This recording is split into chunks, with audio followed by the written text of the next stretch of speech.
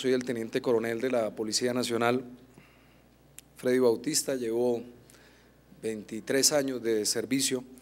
en la policía, de ellos cerca de 15 años dedicados a la investigación criminal y los últimos 11 al tema de la delincuencia informática y digamos que en ese marco eh, ingresa plenamente el concepto de telefonía móvil y el auge que ha tenido en los últimos años esta temática. Yo, digamos que quise iniciar inicialmente, pues presentarles a ustedes cuál ha sido como el, diagnóstico, lo que hemos encontrado en los últimos años. Con esta primera gráfica lo que quiero referenciarles a ustedes es la evolución de las conductas y, aterrizarlos, ¿por qué? Porque digamos que he dividido la, presentación mía eh, pensando un poco en qué podíamos compartir con ustedes o qué debíamos compartir con ustedes y les, la traigo como en tres partes. La primera, como lo que tiene que ver con lo físico. La segunda, algo que tiene que ver con lo lógico, que casi que ya fue tocado en la, presentación que, que me antecedió. Y lo tercero, cómo también los teléfonos nos sirven a nosotros dentro del tema de las investigaciones. Entonces, con esto simplemente como para entrar en contexto un poco, quiero referirles que con la entrada en vigencia en el año 2009 de la ley 1273 o la ley de protección de datos y de la información, recordemos que hasta el año 2009 Colombia únicamente contaba con un pequeño artículo, yo le llamo pequeño porque estaba casi que eh, inconcluso también en el Código Penal colombiano, era el artículo 195 que hablaba del acceso abusivo a un sistema informático, era la única normativa penal que teníamos respecto al, delito informático. Con la expedición de la ley 1273 en enero del 2009 se crean, creo que son nueve, diez tipos penales, entre ellos pues algunos que aplican o que estamos utilizando frente al tema del fenómeno de la seguridad en computación móvil. Para hacerles un resumen breve, en el 2009 aparece en Colombia como delito, por ejemplo, la violación de datos personales, el acceso a sistema abusivo a sistema informático, la obstaculización de, un sistema informático, el uso de código malicioso, la suplantación de sitios web, el daño informático, entre otras eh, conductas. Esto señala pues, el, crecimiento que hubo de un 480% entre el 2009 eh, comparado con el 2000, eh, perdón, 2010 comparado con el 2009, que nos llevó a tener cerca de 590 denuncias el primer año estrenando ley, 997 denuncias en el 2010 y cerrando el 2011 con 1.446 casos de delitos informáticos en Colombia. Digamos como para que vayamos entendiendo un poco el contexto. Yo sigo con algunas cifras y esto también es para contarles algo de, estábamos en la redacción de una estrategia integral contra la ciberdelincuencia y estábamos haciendo un diagnóstico para georreferenciar eh, el problema, la problemática en Colombia. Encontrábamos estas cifras tomadas de estudios del Ministerio de las TICs, donde se habla de 47.747.912 abonados en Colombia, telefónicos, es decir, hay 103.7 líneas o abonados por 100 usuarios por cada 100 colombianos en nuestro país, para que miren ustedes un poco la dimensión. Y este, esta cifra que tomo acá, que corresponde al tercer trimestre del, 2010, del 2011, perdón, porque creo que no está el estudio finalizado para el último trimestre del año que recientemente terminó, tenemos 4.596.319 suscriptores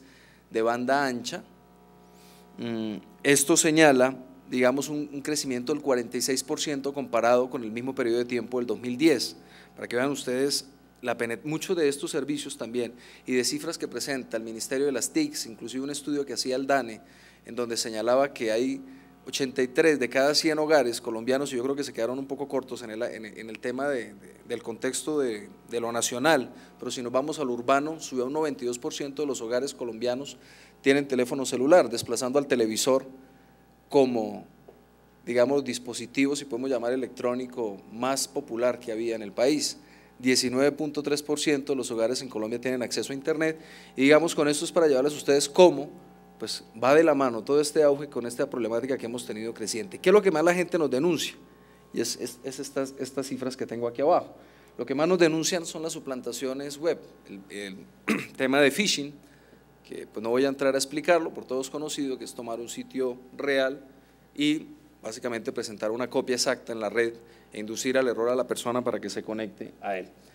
Con un 30.8% de, de las denuncias que nos llegan al CAI virtual, Estas denuncias no se corresponden a estas 1.500. Aquí tenemos más o menos unos 132 mil conexiones a través de correos electrónicos que nos enviaron el año pasado, conexiones a un chat interactivo que tenemos en la página de delitosinformáticos.go.co de la policía,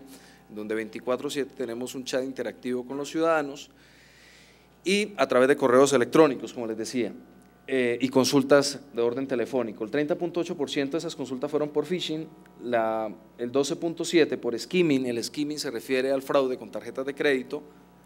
y señalé este, y por eso lo traje, el tema del smishing con el 10.3%, que es el smishing. El smishing va directamente relacionado con el tema de la gráfica que está aquí detrás mío, o esta que está allí, que tiene que ver con el tema de los mensajes de texto fraudulentos que se envían a través precisamente de teléfonos móviles o teléfonos celulares. Señalábamos cerrando, tal vez a mediados del año anterior, o principios del año 2011 y mediados, hasta mediados del año anterior, que creíamos que tal vez era el ataque informático pues, que más, eh, más masivo que ha sufrido Colombia y yo me atrevo a asegurar que no hay una persona acá en el auditorio que no haya recibido un mensaje de este tipo, como el que traigo de ejemplo, o algún amigo o alguien que conozca que le haya contado este tema. Y esto nos llevó también a plantear, y, digamos, habla en parte del por qué toda esta penetración de las tecnologías es utilizada también por los delincuentes. Estos mensajes nos llevaron a nosotros a diseñar una estrategia con el Ministerio de Defensa, con el alto consejero para la seguridad ciudadana, que nos llevó a reubicar algunos personajes que estaban privados de la libertad en Picaleña, que estaban privados de la libertad en La Picota, y establecer como el top de los principales extorsionistas, porque esto finalmente son estafas de tipo carcelario fraude de tipo carcelario, en donde ellos tienen todo el día para estar, para que la persona les llame y ellos contestar y simular centrales telefónicas en donde lo que simulan o lo que ofrecen a la persona pues vehículos último modelo, tarjetas débito con 15 millones de pesos, motocicletas, etcétera, básicamente digamos que las, los, los fraudes que se presentan pues fueron, que se presentaron fueron altísimos. Ya entrados como en contexto un poco la problemática, les decía que lo primero que quería abordar era el campo de lo lógico, ya se tocaron algunos puntos, yo simplemente quiero referir algo de las cosas que más nos han sorprendido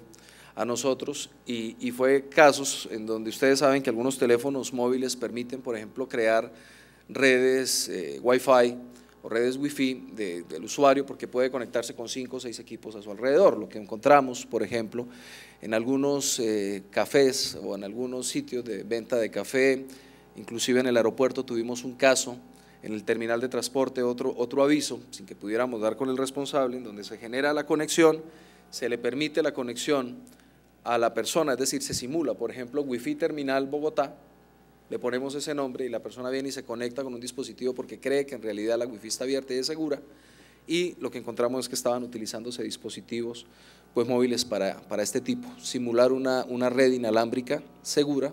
para que la persona que llegue, con la facilidad que permite el teléfono, a partir de ella, pues generar eh, con, con sniffer o con husmeadores,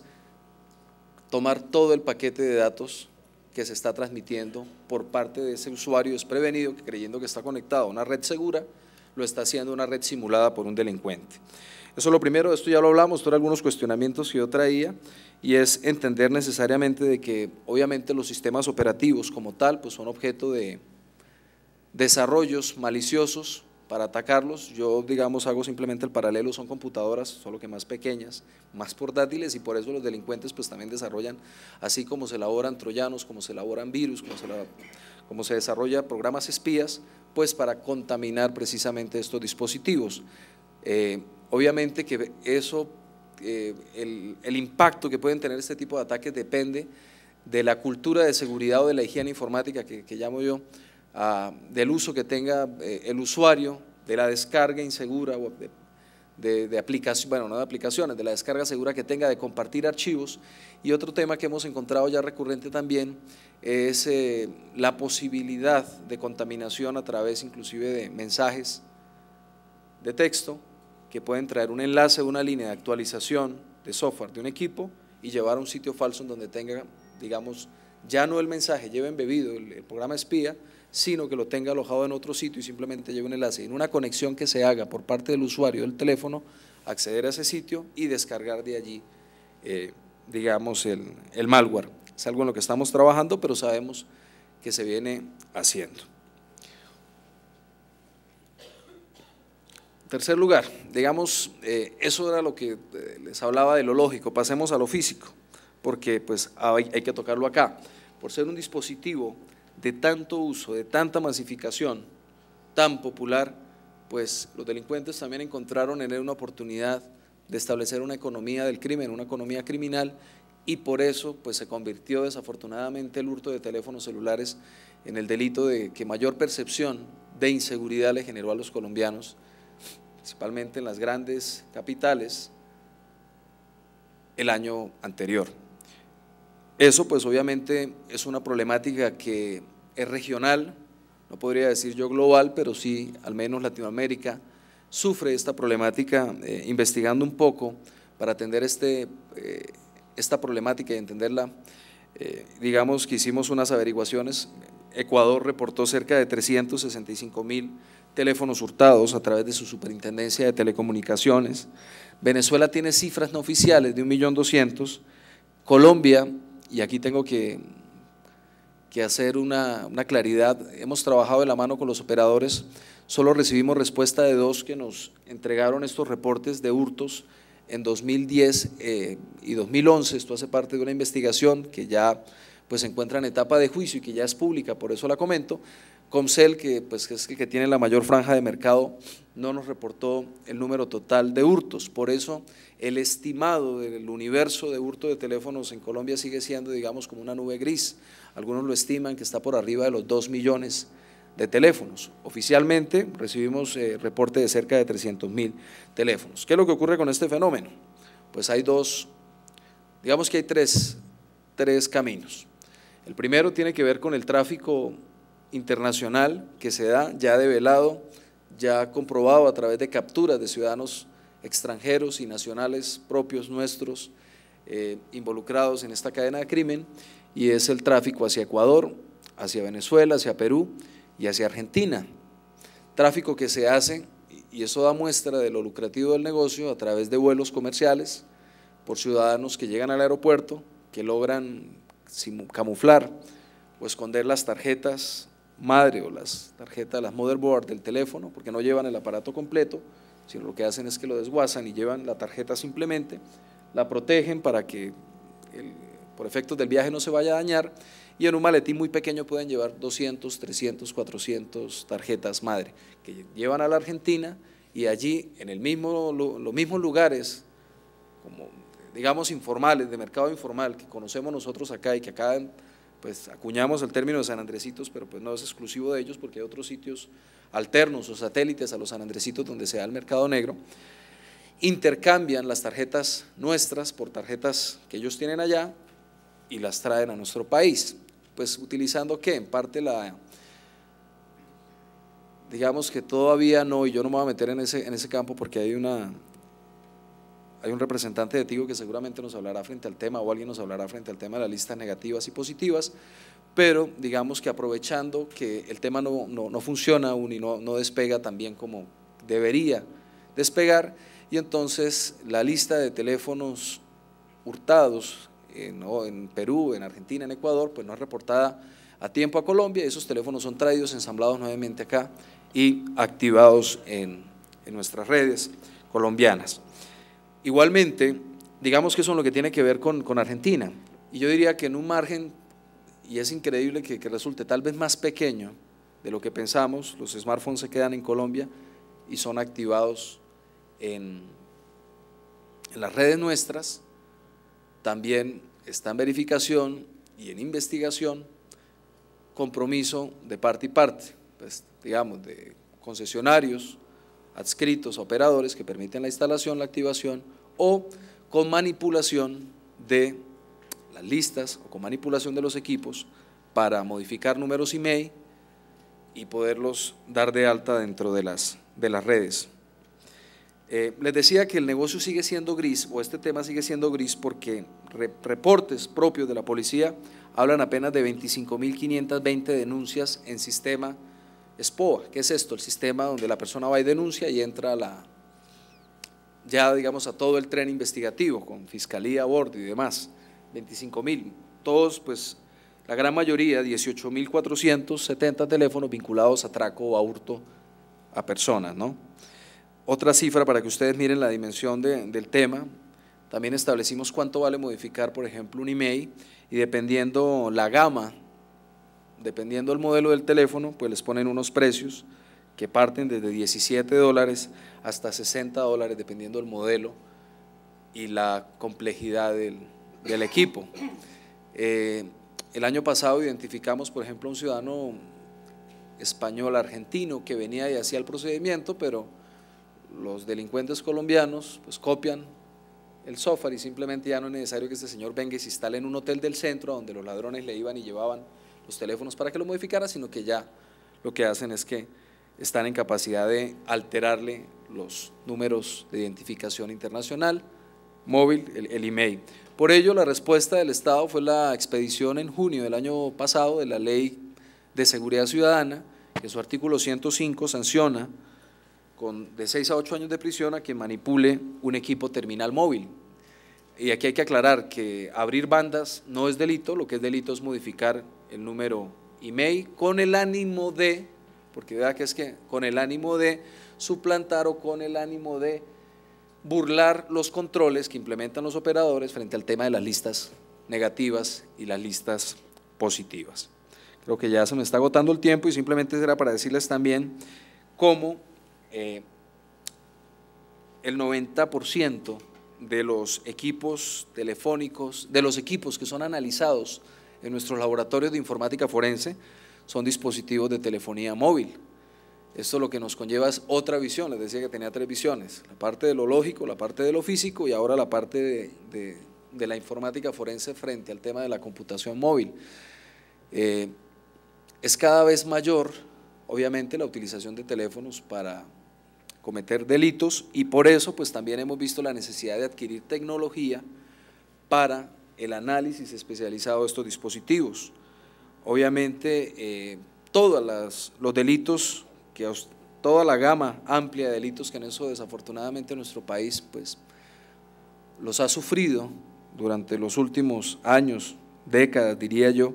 pues ya también se tecnifican y es muy común que lleguen a nuestros laboratorios, obviamente Blackberries, obviamente con sistemas de encriptación o encripción de voz, por ejemplo, sistemas seguros de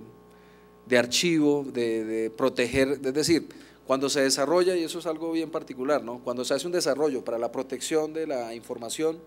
el delincuente también mira cómo lo puede utilizar para el mal. Eh, la particularidad que tienen algunos equipos Mac, por ejemplo, de generar, eh, creo que es el file vault que se llama, que genera como un encapsulamiento de la información, lo utilizan los delincuentes, lo saben y lo ponen al servicio y nos llegan equipos y, si no tenemos el conocimiento o lo que está pasando con el Windows 7, con el BitLocker, por ejemplo, que también, que si no se tiene la contraseña, se, bloquea totalmente y es muy difícil, pues igual nos ocurre a nosotros con, con los teléfonos. Por eso pues tenemos suites o tenemos unos gabinetes para análisis de teléfono celular, herramientas que existen en el mercado,